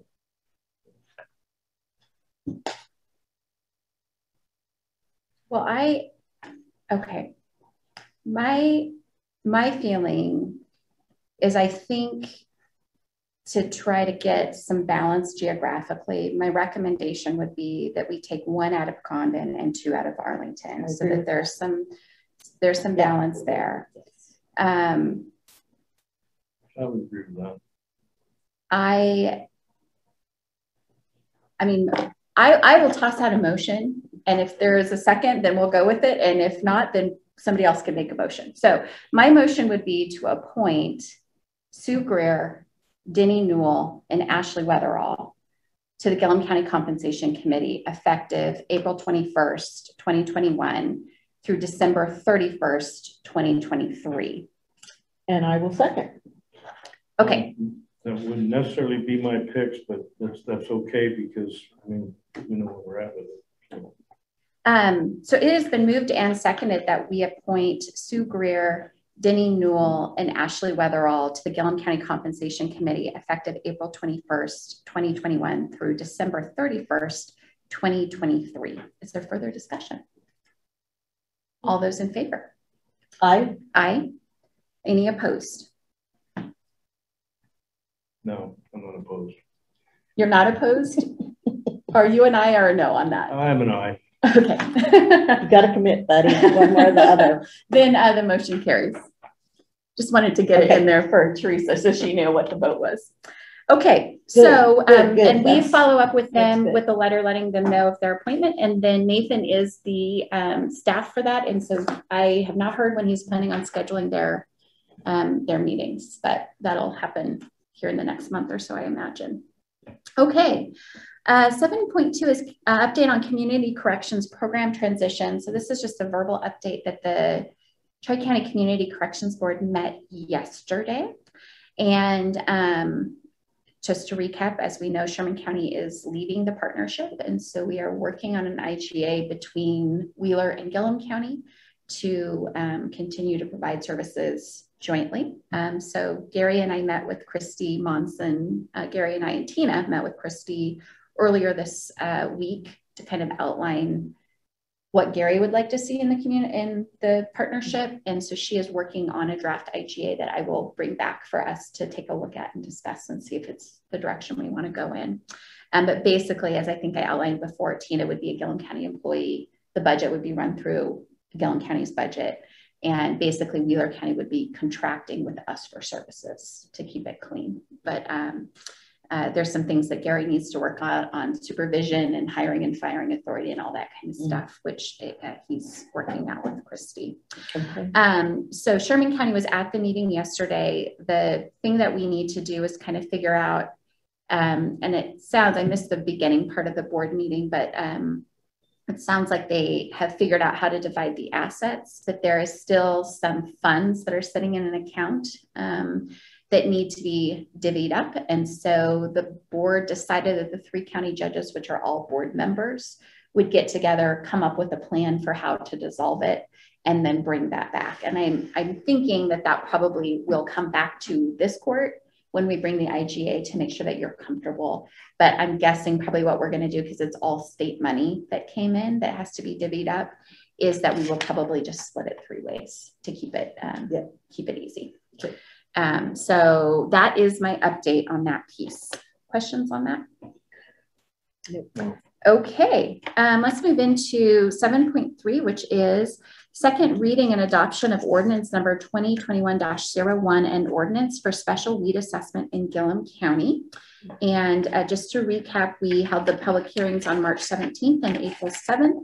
and did the first reading of the ordinance um, during the April 7th meeting. Um, and so in order to adopt the ordinance, we would need a second reading and adoption. I move to have the second reading of ordinance number twenty twenty-one one by title only. Second. It's been moved and seconded that we have the second reading of ordinance number 2021 uh, dash zero one by title only. Is there further discussion? All those in favor? Aye. Aye. Aye. Any opposed? Motion carries. Okay, in the county court for Gilliam County, Oregon, ordinance number 2021-01, an ordinance for a special weed assessment within Gilliam County. I move to accept the second reading of ordinance number twenty twenty-one one by title only and adopt the ordinance.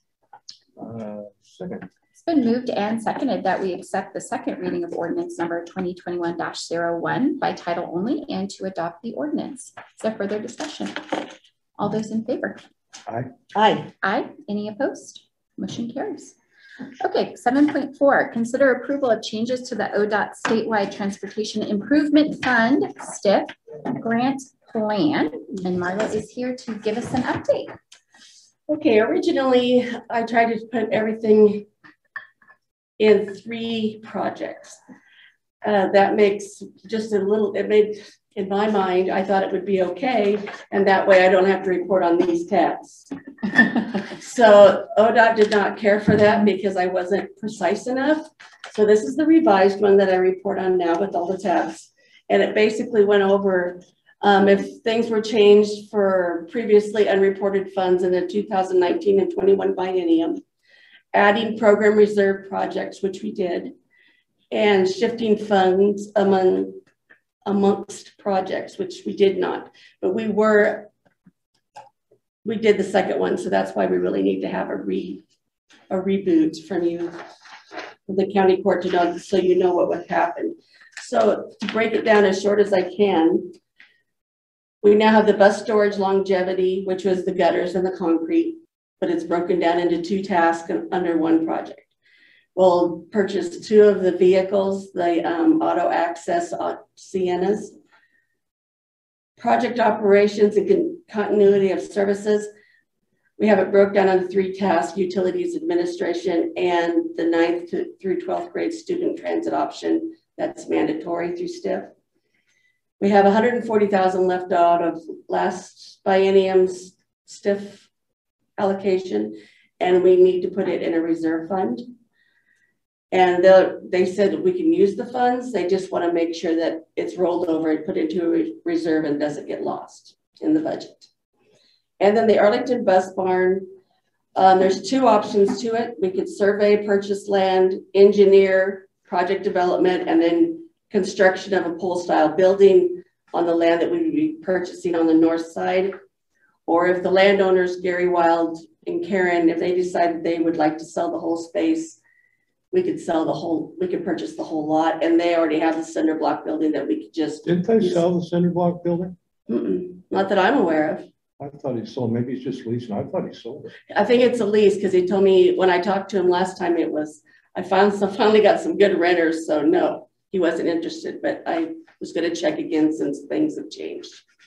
That he'll, but I wanted to make sure it's okay. You know, I don't know how I'll see what he says and I'll come back to you with that. Okay. I would guess if he sold it, it would all been together.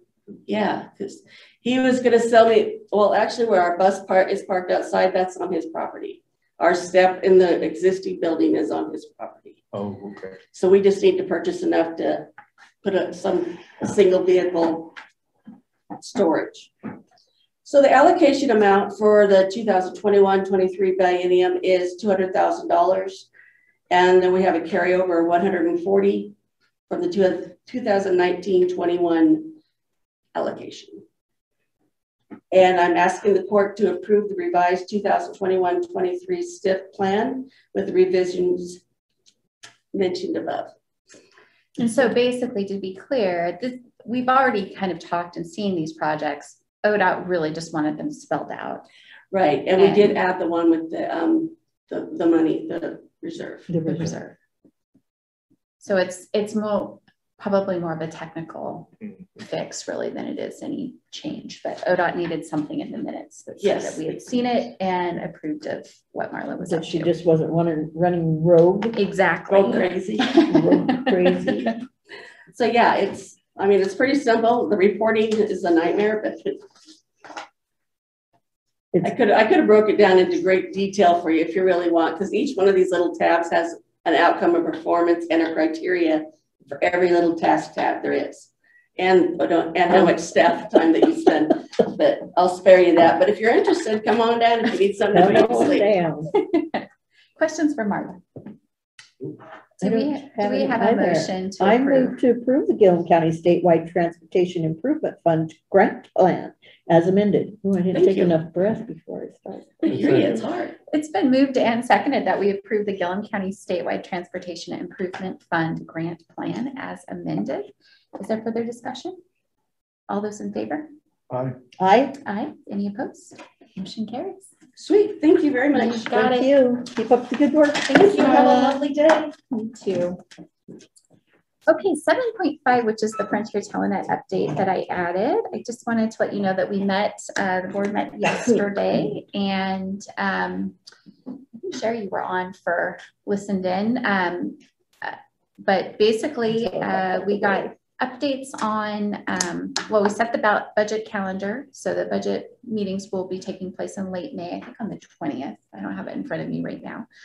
Um, so we'll be doing that process. Um, Catherine Greiner is the county's um, representative. We have the three judges plus three lay people. And so Catherine was appointed as our person, um, our lay person. Um, we are moving forward with upgrades to the Roosevelt uh, tower site. Um, it was falling into really bad disrepair. The ro- roof was terrible and there was some problems with the electrical and it needs a generator. And so um, all of those things are sort of moving. I think the, uh, the electrician, I think was up there actually already. Um, and the generator is moving forward. And then the roofer, I think will be here in June to, um, two years trying to get that all done, so it's good to hear. it's being done. almost done. It should be done hopefully um, by the beginning of the fiscal year, really, July 1, I'm hoping. Good, good, good. Um, Cottonwood Tower is moving forward as well, um, which is the obviously the new site that will be out at um, Cottonwood State Park. And so the same um, the same consultant who helped us with Roosevelt, the project manager, is doing the one at Cottonwood as well. That one's a little bit further behind schedule. Mm. Um, so I think the RFP is going out and they're planning on doing a site visit, assuming that the, they can get a hold of the landowner. There was some issues there that um, Judge Dabulskis was going to try to help bridge. Um, and then the other um, sort of more significant thing that was discussed was the idea of bringing in um, somebody to help do administration or management of the organization. And Lynn, Judge Morley is in- really interested in doing that. I think partially because he's, as the chair, is doing a lot of the work. and so I think he's eager to find somebody to help him um, Right. manage that. And so we are, um, I think uh, Judge Morley had put together a sort of a list of tasks and was soliciting proposals that the board will take a look at um, next month. Um, the other thing that I have been raising, I raised it at this board meeting and I also raised it at the Frontier 911 board meeting yesterday as well, is um, asking whether it might be time to look uh, to see if Frontier Telenet and Frontier 911 should be one board. And the reason I keep raising it um, is because there seems to be a disconnect. The three judges um, sit on the board for Frontier Telenet, and the Frontier 911 board is actually where the users are at. So the sheriffs are on the Frontier 911 board. They're the ones that actually understand what they need for the system, but they're not at the table of the actual network. Um, they don't have any authority over it. And so um, I think it would be very complicated to try to combine the two, but it's something I think that it's at least worth pursuing to see if it's an option. Um, like I said, there's there's just a lot of like the right hand and left hand don't always know. The sheriffs are going to Day Wireless and saying we need X, Y, and Z, and then Day Wireless is coming to the Frontier Telenet board to pay for it, basically. And so there's a disconnect between the users who are asking for more um, connectivity, which I totally understand and support, but they are they don't have to figure out how to pay for it. And so there's a little bit of a disconnect between the users of the system um, and who's actually running the system. And so it, I, uh, there's a lot of uh, nervousness about that naturally, because it would be a big change. But um, both boards at least said there's no harm in researching it. So I will be kind of working through what the different um, potential roadblocks to doing that would be. But I wanted to just raise that here so that you knew that that was something that I'm researching without necessarily saying it's definitely the way we need to do it. Um, there may be some other, maybe the solution is to broaden the Frontier Telenet board and put the sheriffs on it. I mean, maybe there's a different solution that we look at, but um, anyway, I just wanted to raise that so you're not surprised if you hear that um, I am doing some research on that. Questions on Frontier Telenet? Other than that, things are going smoothly. We, yeah, yeah. no problems. We're financially solvent at this point. So, What's the future look like? well, um, I mean, it'll be interesting as the counties each roll out their own fiber plans. And because originally the legacy of Frontier Telenet was really providing internet along with the 911 connectivity. And so, you know, Wheeler County made huge investments in doing improving their internet. Sherman County, I know, is working on um, some projects with I think GorgeNet that uses some of those legacy things. Um, and so I think partially it's going to depend on some of our service providers here and as they upgrade their systems or move over into fiber and are not using the wireless systems as much, then I could see a scenario where Frontier Telenet really does just become the backbone for the 911 and our emergency responder communications. Just because I think that's where the market's going to go anyway, is when people can deploy fiber, they're going to. Mm-hmm. Um, and and so, in which case, if it's just focused on 911 communications, it's a much simpler organization to run then because right. it's yeah it's just towers. But but part of that's going to depend, I think, on some of our ISPs in the area and, and whether they want to upgrade systems and how long they want to stay on Frontier Telenet's networks and alternatives. I mean, having the Zayo fiber line go through Wheeler County, I think changed a lot of things. Um, I've heard that there's that Oregon Telephone um, has, I think it's an E-rate contract to bring fiber in through the other side, through Grant County into Wheeler County to mm-hmm. service the schools. And so if that happens and there's a loop of fiber that's running through all three counties, they may, we may stop using the microwave system for those purposes. And in which case it would really, I think it would really change what Frontier Telenet's mission is then. And really focus it on 911 and emergency communications, which makes sense because that's yeah. really right the most I think yeah, what it's really doing the, the critical stuff that it's right. doing, which it needs to continue to do. So anyway, okay. Other questions? Let's move on to uh, 8.1, which is uh, consider approval of resolution number R 2021-05, a resolution declaring a drought in Gilliam County. So we have, um, if you've looked outside, we are in, uh, we have not seen rain for some a while. So um, how this typically works, we did one of these last year as well, is Gilliam Soil and Water Conservation District and State Water Master. Um, basically, the Soil and Water Conservation District Board, I think, met last week. And um, are recommending that based on the precipitation at this point, that the county go forward with uh, approving a, a, drought declaration. Um, and the water master concurred with that. And basically how this works and why this is necessary is our declaration then gets forwarded up to the governor's office with a request that they then declare a drought for our county with the feds which then allows our producers here to access um, certain certain relief funds and grants um, from state and federal dollars or programs. So this is, um, I think, pretty housekeeping, really, based on what we actually, what they're actually seeing with uh, conditions on the ground. Um, I get on that Eastern Oregon Legislative Caucus call on Tuesdays, and there's a number of counties going down this road. But the legislators were asking that if any counties are doing this, that we move that on to them. Does that help with the governor, or are we fine? Will this just get there and we'll be fine with it without doing that? So what we could do is obviously on the east side, that's where all the problem is. So yeah. So uh, um, well, it's west side's struggling as well. I mean, they're a record. They won't struggle as much. But well, they won't, but but yeah. they they realize in their record. Yeah. So what I think we could do is. Um, technically, I think it's the governor that has to make that declaration.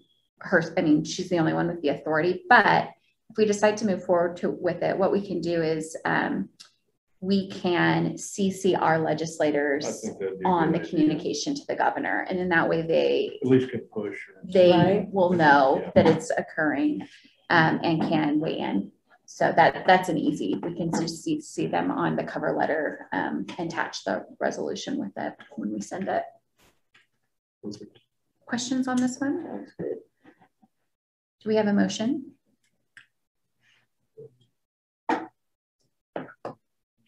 It's your turn. I can do it, but it's your turn. I'm glad you guys have worked out a system. so I would I don't want to take all of it. I don't see the. Go ahead, oh, okay. So this would be the suggested motion language. Yes. I move to adopt resolution R two zero two one 5 as presented. Second. It's been moved and seconded that we adopt resolution number R 2021-05 as presented. Is there further discussion? All those in favor? Aye. Aye. Aye. Any opposed? Motion carries. Oh, you had a lot of oomph behind that.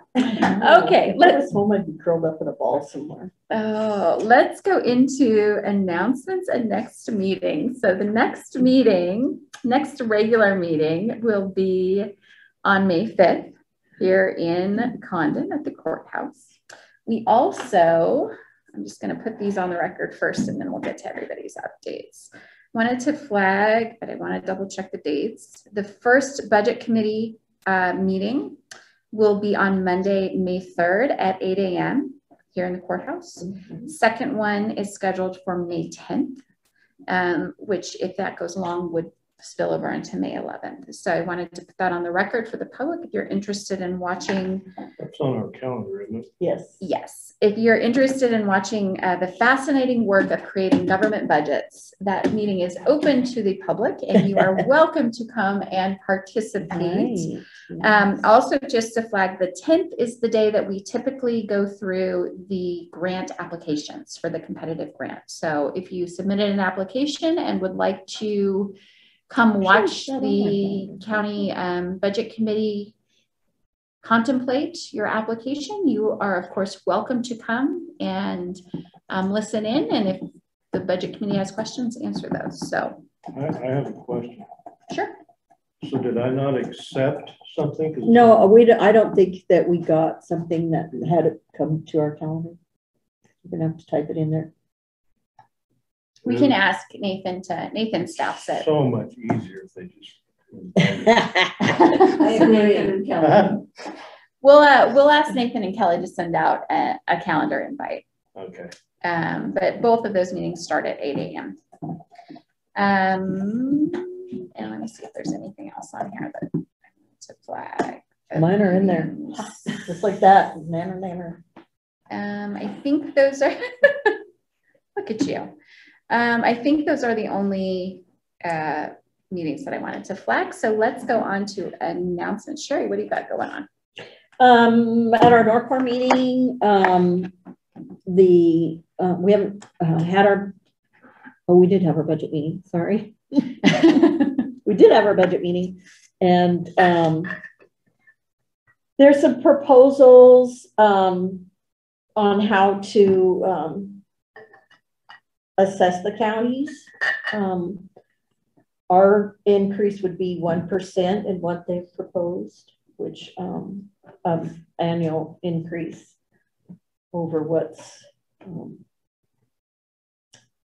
Does been. that decrease anybody else everybody? No, everybody was getting an increase and we, um, Sherman and Gilliam's would be one percent and then, um, based on the percentage, Hood River and Wasco County would be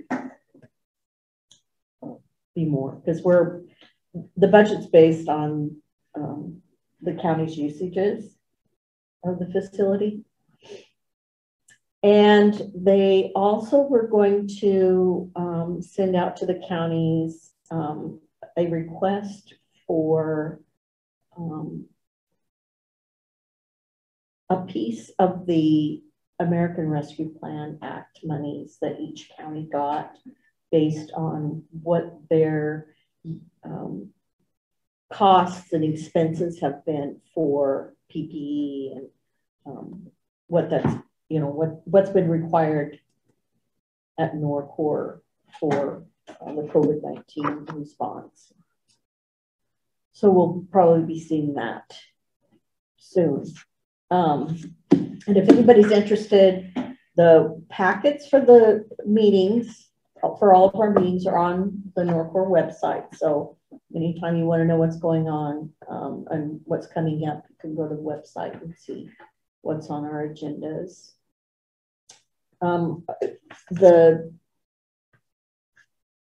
administrative group, which is Molly Rogers for juvenile um, and um, Jeff from juvenile, Dan Lindhorst for the adult side, and Sheriff Mowry have done an excellent job of bringing us back to uh, financial, um, you know, understanding and the, the whole financial uh, accounting system has been um, simplified so that it's, um, it's, they're, they're just doing a really good job in what they're doing. We're still talking about what a new administrator might look like and what that job would be, but from what they've been doing as long as I've been there, it's and, I, I, think the rest of the board would agree that um, they're doing a great job. And COVID nineteen has not affected Norcor. Um, it's been clean and, and so we're proud of, of what's been happening there. And I have Capco Friday this week. So that's kind of what's going on. I've been trying to attend some other uh, meetings when I can. I had listened on Frontier Telenet for quite a while, so I was really glad to have time to do that this week and pick up some other things. I haven't managed to get to the Eastern Oregon um, meetings, but I need to do that too. Hear what they're. Kind of interesting. Yeah, I, I do. I do read what's coming out, Good but feedback. To but to hear what they're saying is is different than what you They read. take you through the legislators each have a piece, and right now it's real interesting because all the bills that are out there and they're talking through, and, and AOC's on there, Gina's always on there. Yeah. And Rebecca Tweed, and then, Anna Cliff Mintz has been on there. Mm-hmm. um, uh, Representatives from Wyden, Yeah. Merkley have been on there at times, so it, it kind of, uh, goes through the legislators and then through the commissioners. Each commissioner gets to make comments or concerns and talk to the legislators directly on that call. So it's kind of nice. Does sound. nice deal. I'll have to pick time for that. That's it. Great. Pat, what do you got? Oh, man, there's been quite a few things. So, um, I don't know if everybody know, but the Grossmas building sale is complete. So I know Kelly said the taxes were paid up last week. So that, that deal's off into the port's hands. I did have county college last Thursday and Friday, and it was on economic development. It was Oh. really interesting. And just along those lines, maybe we could schedule a work session sometime in the future and talk about economic development a bit. It's really interesting with the ARP or AR, uh, A, at the act coming out now, there's so many buckets of funding out there that, and almost every bucket that's out there has something for broadband and something for Mhm. infrastructure and something for housing, something for small businesses. And there's all these buckets that have a lot of the same type stuff. There's a lot of stuff with USDA. So it was, it was a really interesting session with the county college and a lot of what's going on with economic. So It's really kind of heated up because COVID, COVID relief and trying to get things to move It's on. ARPA. ARPA. I had to write that American down. Recovery Act. American Rescue Plan Act. Rescue, rescue plan. Yep. ARPA. ARPA. So the work session, what, like, Just What are to you talk hoping- about economic development, you know, I'm new to the court and we can kind of throw some ideas around, visit about a little bit. You know, like that, rather than type a long, a long court meeting, maybe we could have a session and just kind of see where we're headed with the different parts of what's going on in Gilliam County. And are there some things that we could go out and pursue that to? Oh, yeah, Especially sounds like good. with housing and broadband, there's so many Yes. you know, things out there. And I'm not sure how we, without having some discussion, how we move forward or want to move forward with some of that stuff. Sounds good. I like it. would you like, I was thinking, I remember when we adopted the strategic plan, we had talked about revisiting that. Would you like that should be to part of that. be part of this discussion? Big part of county college and what, what the counties have and use for a strategic plan. And I don't really feel like, which I communicate, I don't know that Yeah, we're there with, What we have with now. a lot of other, what a lot of other counties have. Okay, so, yeah, we can do a strategic plan slash economic development discussion. And. And I don't know, maybe we, I don't know how quick we want to do that. Obviously, with ARPA, there's some urgency with Right. some of the stuff. Right. But we have budget and a lot of things going on right now too. Um, But yeah, it's just, but like you say, it's like with broadband, we want to get, we want to get all of our ducks in a row so that when the money comes, we're ready. And so I think that's a good idea. typically what we do with our work sessions, if you're open, if you guys are open to this, we could do, sometimes what we've done with work sessions is since we will pick the Wednesday anyway that we're gonna meet. That's probably, And so, I mean, what we could do maybe is look at scheduling an afternoon work session. So we could hold court at ten and then maybe just at one, you know, take a break for lunch. Um, uh, that'd be good. Yeah. Or after, I'm assuming we'll probably have some longer executive sessions with the negotiations moving, but I'll, Teresa and I will work together and try to figure out which date might, and, and Lisa, depending on how, how your CBA negotiations are going, to try to find a date that we could maybe do an afternoon work session. Sounds good. Um, okay, So that, uh, I was on the North Gilliam Public Health Board meeting the other night. Kind of an Interesting meeting. And with all that, North Central did not have a board meeting, North Central Public Health did not have a board meeting in April because the chair was on vacation. We really didn't have much on the agenda, but there's going to be a big agenda in May because of that. And partially, I think, spurred on by our feasibility study and pulling out of there, I started getting phone calls last week regarding from people involved with the health district wanting to know That's what good. was going on in Gilliam County. And I am on the agenda for May to give them an up- update about what we're doing and, and what we're looking at. And I've kind of, you know, told them it's not, nothing fast is gonna happen. It's gonna be a slow process and not get real Yeah. excited, but, um, that, that being said, I did sit down with Holly this week and talked to her for quite a little while and, and, uh, I've, I've talked to Dave and there's definitely some stuff going on there that, um, we're gonna have to work through. And, um, I'm gonna, I'm gonna talk to the board members with the north end and and have a visit with them, but, so that's going on and, and, uh, it's kind of out there because we put it in public meeting and then I think, uh, Bailey's been doing some work that has asked some questions that have generated some questions. imagine that. So- So that's going on and, um, other than I guess you saw that we got the IGA from the port. Just this Uh, morning. This, Yeah. I- this morning, I, I, um, read it yesterday, so it's kind of out there ready to go and Yeah, I will um, send it over to our attorneys to make sure there's nothing, no red flags. And then if assuming they say it all looks good, then we'll put it back on the court's agenda. Other than that, I think that's been on some AOC committee meetings and stuff, but especially transportation, human resources and all that. Great. Um, well, I think I've already um, covered. We had um, Frontier Telenet, Frontier 911, and Tri-County Community Corrections meetings yesterday. This was a full day of meetings. Yes. Um, I already covered Frontier Telenet, already covered Community Corrections. The 911 board um, adopted or approved the budget. and that budget go is actually part of Wheeler County's budget, so it's it's a it's just the preliminary thing. Wheeler County will actually put it in their budget um, because there was some questions about hearings and stuff for that, and that's why it's structured the way it is. It's part of their budget. Um, still doing a lot of AOC stuff as well um, on their membership um, committee and then their budget and finance committee, um, and then the normal ledge committee and those other related committees. So um, that is part of our strategic plan to be engaged. So Pat and I are both doing that.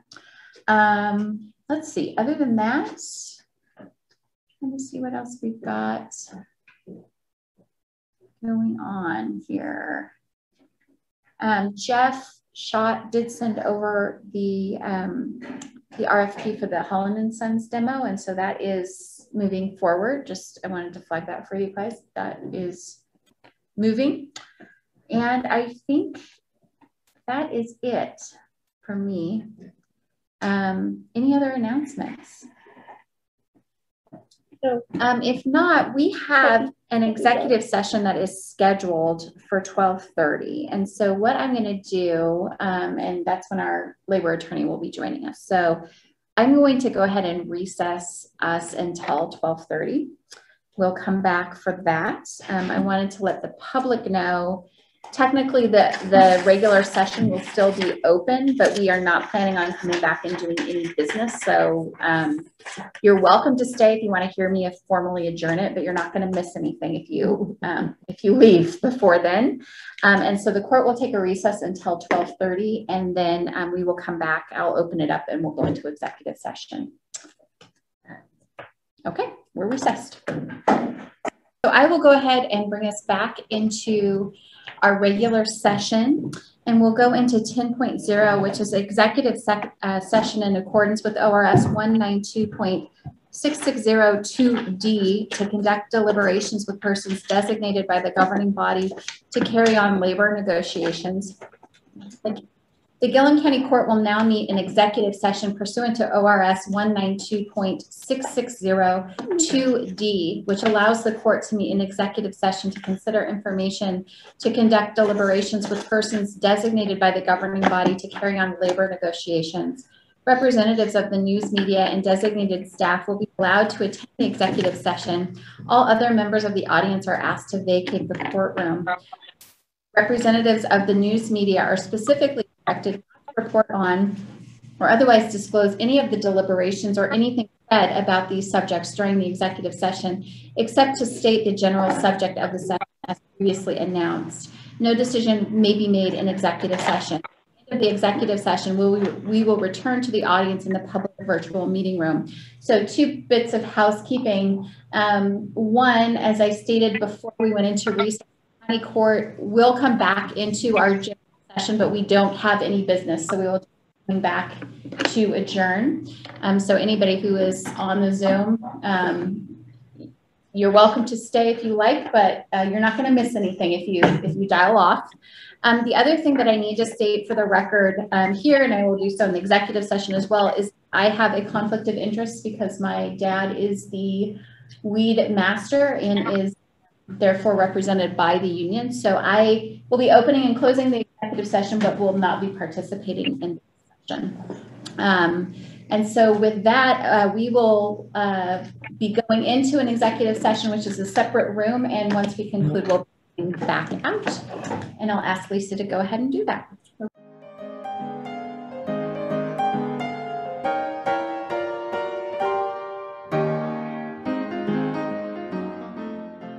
So we are back from the executive session and it is twelve forty-three and I will adjourn the meeting.